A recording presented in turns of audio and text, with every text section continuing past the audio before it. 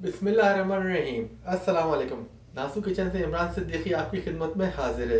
हम आपको नासू किचन में खुश आमदीद कहते हैं। आज जो रेसिपी हम आपके लिए लेके आए हैं, वो बड़ी ही ज़बरदस्त रेसिपी है। बड़ी मज़ेदार बनती है और बकरीद के मौके पे तो बड़े शौक से बनाई और खाई जाती है। और इस रेसिपी का नाम है चपली कबाब। तो आइए चलते हैं रेसिपी कार्ड की तरफ़।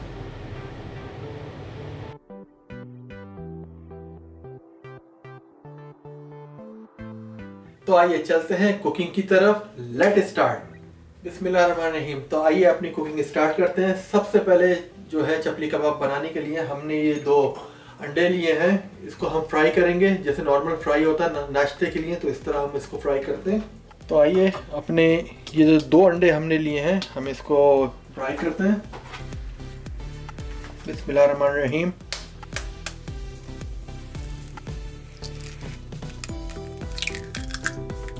एक हो गया। और ये दो। तो हमने दो अंडे तोड़ लिए हैं और अभी हम बर्नर ऑन कर देते हैं। बर्नर ऑन करने के बाद हम इसमें जो है वो ऑयल शामिल करेंगे। रहीम, थोड़ा सा हम ऑयल लेंगे इसके अंदर। ऑयल लेने के बाद जो है अपने जो अंडे हैं, इसको हम फेंट लेंगे।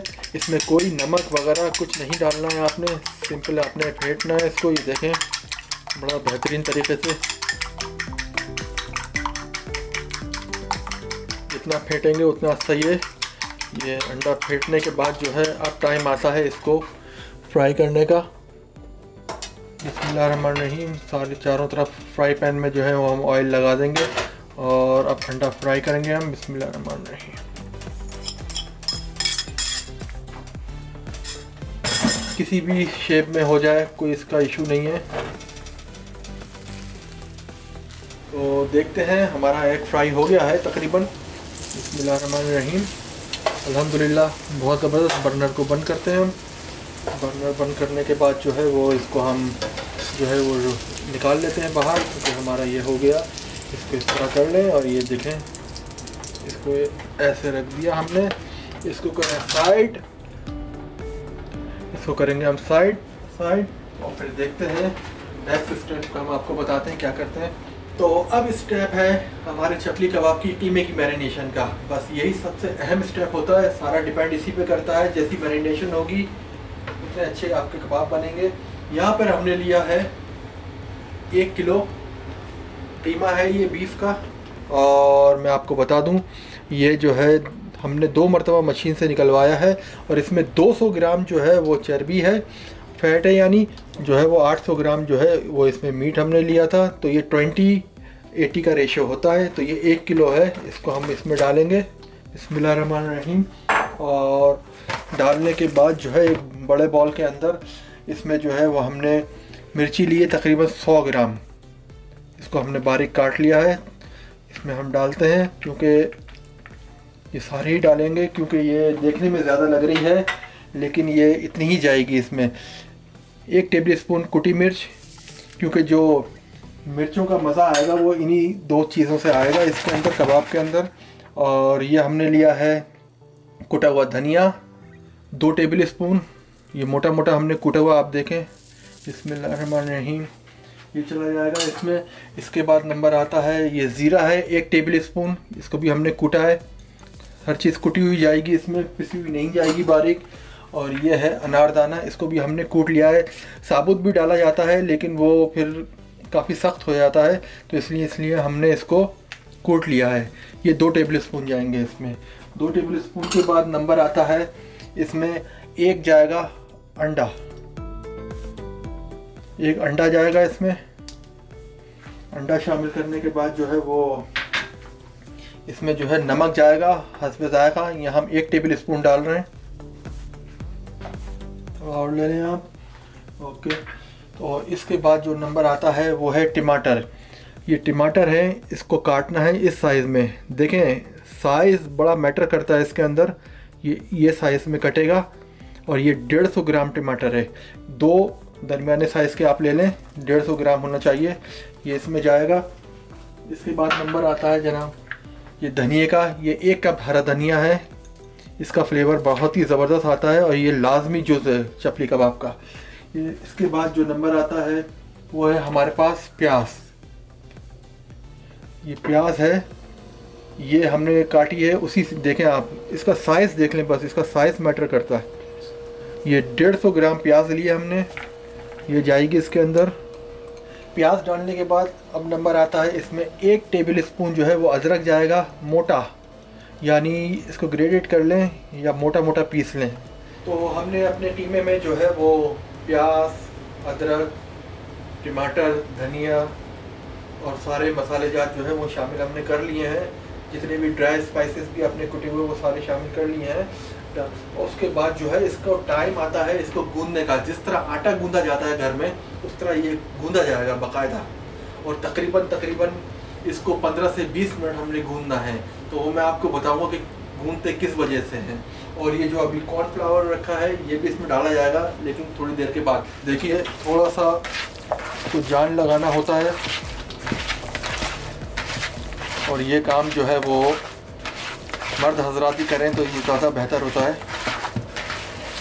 गूंदने का तरीका देख लें, जिस तरह आटा गूंदता है, उसी तरह करना है आपने। हरी मिर्चें देखने में ज़्यादा लग रही थी, लेकिन अलहमदिल्ला बिल्कुल सही आएँगी। इसमें सब्ज़ी का जो साइज़ है, वो बड़ा मैटर करता है। देख लें, इस तरह गूंदना है। पाँच मिनट, उसके बाद देखेंगे कि इसमें कितनी नमी है, सब्जियों ने कितनी नमी छोड़ी है। तो उस हिसाब से हम कॉर्नफ्लोर शामिल करेंगे।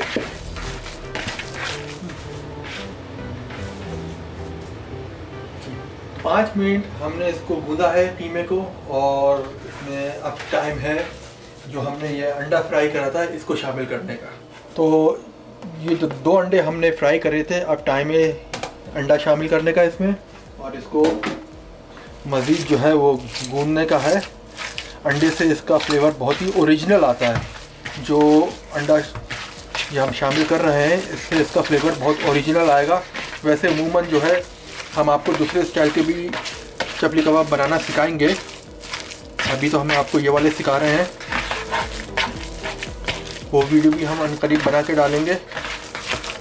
तो इसको बहुत, बिल्कुल, जिस तरह आटे को गूंदते हैं, जितना आप इसको गूंदेंगे उतने आपके शामी कबाब जो हैं, वो मज़ेदार बनेंगे।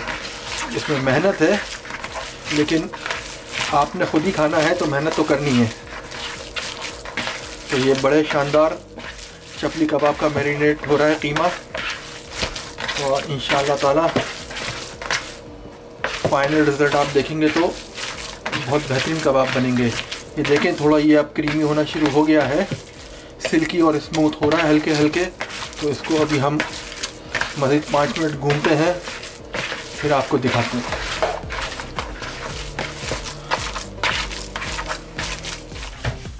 हमें कीमे को घूमते हुए तकरीबन 10 मिनट हो चुके हैं। तो अभी हम आपको दिखाएँगे कि 10 मिनट के बाद कीमे की क्या पोजीशन आई। तो देखिए, हमारे कीमे की जो पोजीशन है, वो हल्की हल्की सिल्की और स्मूथ हो हो रही है। अभी मज़ीद 10 मिनट और गूंदेंगे। अभी थोड़ी इसमें नमी है, जो सब्ज़ियों से निकली है। तो अभी टाइम है इसमें जो है वो मकई का आटा शामिल करने का। तो हमने चार टेबल स्पून लिया था, लेकिन ये वेरी करता है कि सब्ज़ियाँ कितना पानी छोड़ेंगी। तो उस हिसाब से आपने डालना है। यहाँ हम अभी दो टेबल स्पून डालते हैं। ये दो टेबल स्पून हमने आटा डाल दिया है और इसको मज़ीद अभी गूंदेंगे, फिर देखेंगे। अगर ज़रूरत पड़ी तो फिर और डालना पड़ेगा, वरना तो यही बहुत रहेगा तो अब इसको हम मज़ीद गूंदेंगे। आप देखें तरीक़ेकार आपने बस इस तरह करना है, जैसा आटा करते हैं।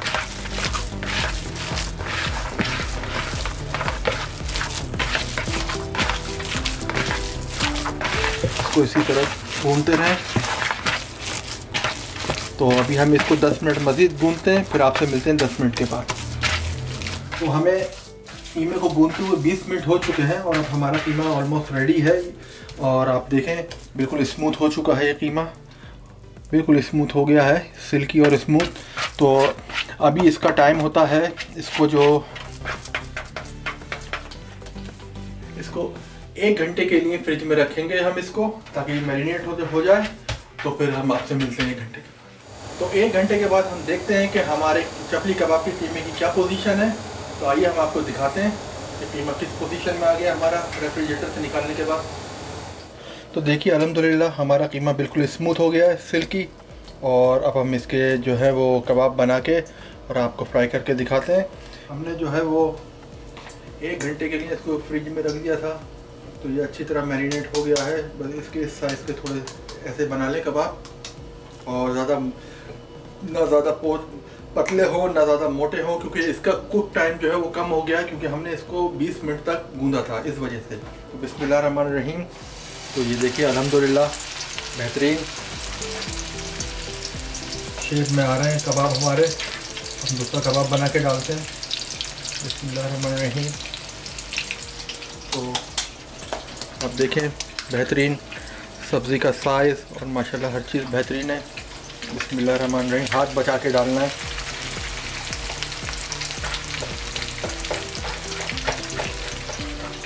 बसमीम ये एक और कबाब। इसका कोफ्ता बना लें, इसको आप ऐसे कर लें। ना ज़्यादा मोटा, ना पतला। बसमीम ये देखिए आप, एक की गुंजाइश और है। एक और हम बना लेते हैं।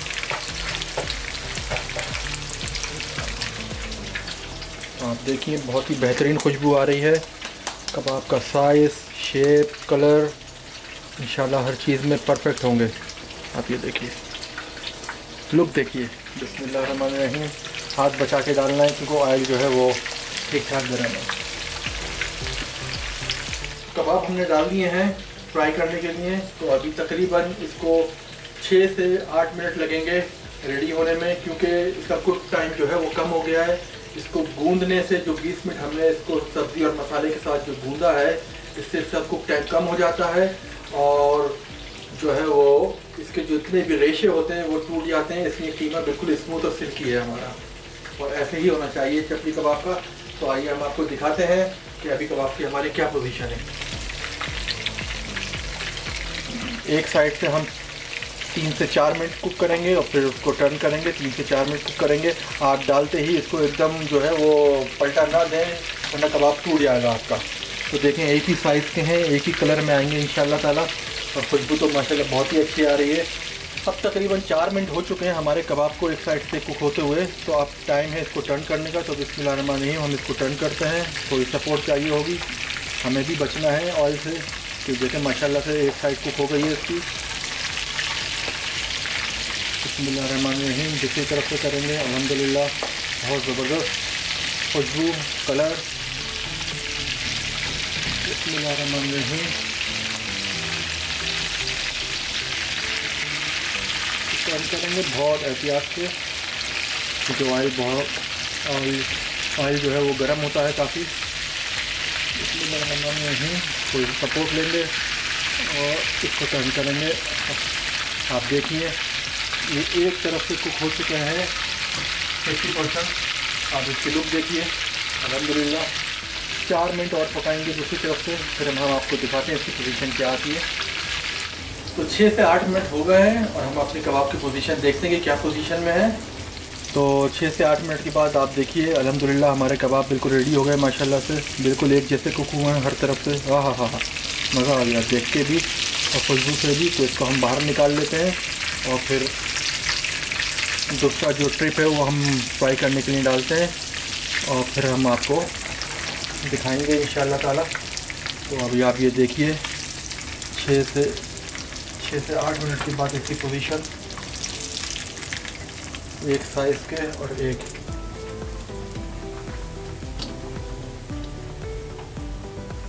तो आइए अपने और कबाब को फ्राई करते हैं और देखते हैं। बिस्मिल्लाहिर्रहमानिर्रहीम।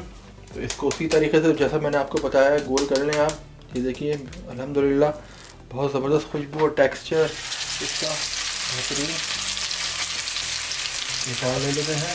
बिस्मिल्लाहिर्रहमानिर्रहीम। ये हो गया है। यहाँ पे मैं आपको एक काम की बात बता दूँ कि ये आप ऑयल देख रहे हैं, ये काला हो गया है। आप जब देखते हैं, चपली कबाब की किसी शॉप पे भी जाएँगे, वहाँ लेंगे तो वहाँ ऑयल बिल्कुल काला होता है। तो होता ये है, वो किस वजह से काला होता है कि जो इसके अंदर स्पाइसेस होते हैं और जो कॉर्नफ्लोर मकई का आटा इसके अंदर डाला जाता है तो उस वजह से जो है वो काला हो जाता है। और वो आप एक उसमें चार पाँच कबाब फ्राई करेंगे तो वो दस मिनट में काला हो जाएगा। तो उससे ऑयल में कोई ख़राबी नहीं होती। बस ये है कि वो बस स्पाइसेस की वजह से और जो मकई का आटा होता है, उस वजह से वो अपना रंग चेंज कर लेता है। तो अभी हमने ये कबाब और डाले हैं फ्राई होने के लिए। तो इंशाल्लाह ये भी छः से आठ मिनट में कुक हो जाएँगे।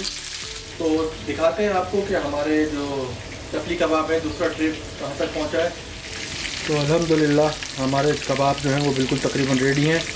तो आइए आपको डिश आउट करके दिखाते हैं। बिस्मिल्लाहिर्रहमानिर्रहीम। माशाल्लाह, बहुत ज़बरदस्त कबाब हैं, आप देखें। कलर की खुशबू। तो हमने अपने चपली कबाब डिश आउट कर लिए हैं तो आइए आपको दिखाते हैं।